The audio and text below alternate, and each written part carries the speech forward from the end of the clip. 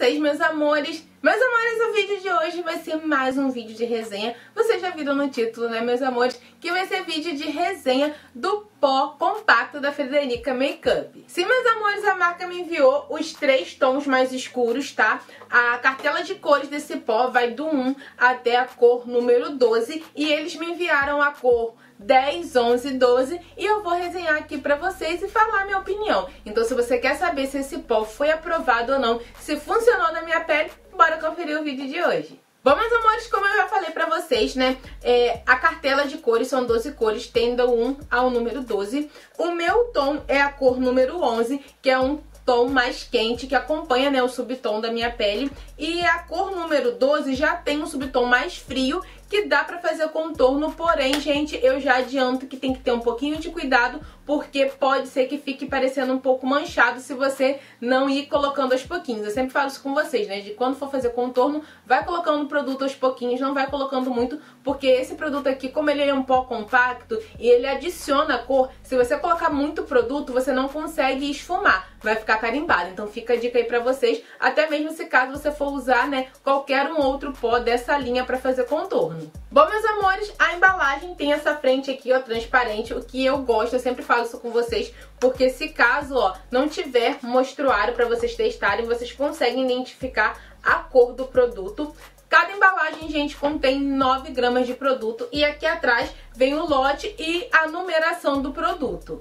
Em questão do preço, meus amores, eu já vou falar logo antes que eu esqueça. Eu dei uma pesquisada no site porque eu ainda não encontrei, gente, os produtos da Frederica em lugares para poder comprar. Então eu dei uma pesquisada no site, tá custando R$22,90 cada embalagem. E eu vou fazer o seguinte, gente, eu vou aplicar o pó na metade do lado, né, do rosto para vocês conseguirem ver em questão de cobertura e depois eu aplico do outro lado e vou dando minhas considerações finais e falando aqui com vocês.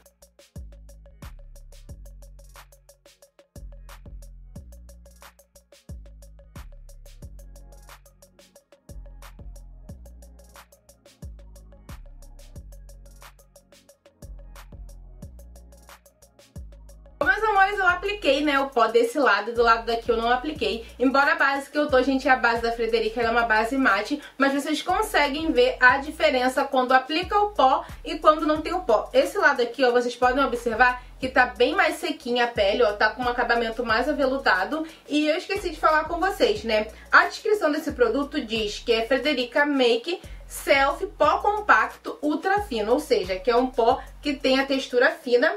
Aqui atrás diz que ele é um pó compacto ultra fino que possui um toque mate aveludado, alta cobertura, com acabamento natural, que contém 12 tonalidades e que atende a todos os tipos de pele. Perfeito para finalizar make e fazer retoque aos longos do dia. Lembrando que é uma marca vegana, livre de parabenos e não testa os produtos em animais, tá, gente? Então vamos lá. Gente, ó, realmente ele deixa a pele mate e deixa esse acabamento, né, mais aveludado. Não fica aquele mate muito seco, sabe? Parece que vai rachar a pele. É, outra coisa, gente, que eu percebo é que esse pó, ele adiciona muita cor. Ele tem uma alta pigmentação.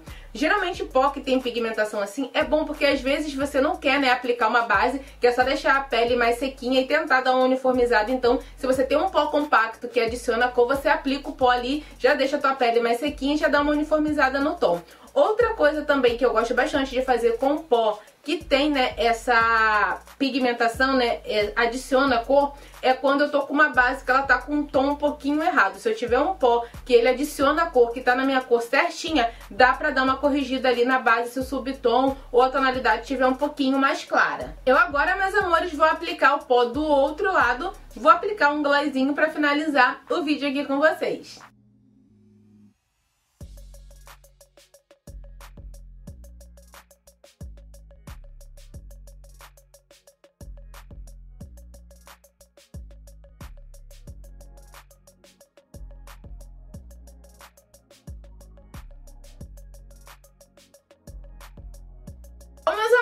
Apliquei blush, não apliquei iluminador nem nada pra vocês verem aí melhor, né? Como que ficou o acabamento da pele com o pó. E, gente, eu simplesmente estou apaixonada por esse pó.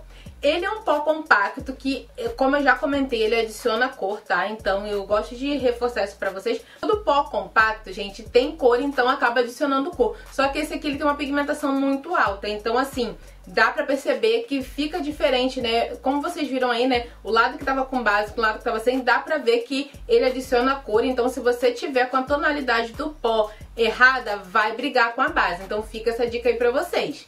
E assim eu usei, ó, a cor 12 pra fazer um contorno, gente, e como eu falei com vocês, tá? Ele tem um tom bem mais frio do que a minha pele, então eu coloco bem pouquinho, ó, pra não ficar parecendo, ó, que tá manchado. Eu vou dando batidinhas, ó, e ele dá uma leve sombra, tá? É, eu sempre falo aqui pra vocês, né, que eu prefiro pó solto, porque eu sinto que o pó solto, ele me dá uma durabilidade maior na minha preparação de pele. Eu sinto que o pó solto, ele faz com que a minha pele demore mais tempo pra ficar oleosa e dá uma durabilidade maior na minha preparação de pele. Porém, gente, esse pó aqui, ele me surpreendeu. Dificilmente eu uso assim pó compacto, né? Porque eu não sinto que me dá essa segurança de ficar mais tempo maquiada e de segurar a oleosidade. E esse aqui me surpreendeu justamente por isso. Ele segura bem a oleosidade da minha pele e mesmo ele tendo o acabamento compacto, ele não fica com aquele aspecto pesado, sabe? De que você tá com um quilo de pó no rosto. Ele deixa um acabamento mais natural, realmente ele cumpre o que promete em questão de ter textura fina. Como ele tem essa textura mais fininha, ele dá uma esfarelada, tá? É, se você não gosta de produto que esfarela, já vou avisando vocês, ele dá uma leve esfarelada assim quando você vai pegando o produto para poder ir aplicando no teu rosto, né? Eu sinto que ele dá essa leve esfarelada. Ele realmente cumpre, gente, o que promete em deixar a pele com acabamento mate, sequinho, mas com uma textura mais aveludada e essa alta cobertura, que realmente é um pó que tem uma alta cobertura. Então, pra mim, gente, o produto tá super aprovado. Eu confesso que esse produto me surpreendeu muito, tá? Eu tenho usado bastante ele no meu dia a dia, né? Pra poder testar e vir trazer o vídeo aqui pra vocês. É claro, gente, que não se compara na minha pele, gente. Eu sempre reforço isso aqui pra vocês, porque base e pó é bem complicado. Porque às vezes na pele de certas pessoas tem uma durabilidade maior e na pele de outras pessoas tem uma durabilidade menor. É claro que o pó solto ainda me dá uma durabilidade maior, né, na minha preparação de pele. Porém, esse pozinho aqui, ele aguentou umas 6 horas, gente. A minha pele ali ok, depois de umas 6 horas que eu precisei retocar. Geralmente, com pó compacto, depois de umas 3 horas eu já preciso estar retocando. E esse aqui durou mais tempo, então eu fiquei bem satisfeita. Se eu precisar ir na rua, não quero fazer uma maquiagem tão elaborada, só passar uma base, um pó, até mesmo se fosse pra trabalhar, eu apostaria nesse produto. Porque você passa uma base, passa um pozinho, ele deixa o aspecto da pele mais sequinha, mate, mais aveludado, não fica aquele aspecto tão de rebofo e me dá uma durabilidade durabilidade ok. Pra mim, gente, o produto tá super aprovado, eu gostei bastante. Agora eu quero saber de vocês, se vocês já usaram o pó da Frederica Makeup, qual foi a experiência de vocês com o produto. Quero muito compartilhar aqui com vocês, né? Trocar essa figurinha, saber se funcionou pra você ou não. Deixa aqui abaixo nos comentários que eu vou adorar saber. Beijo, meus amores, até o nosso próximo vídeo e tchau, tchau!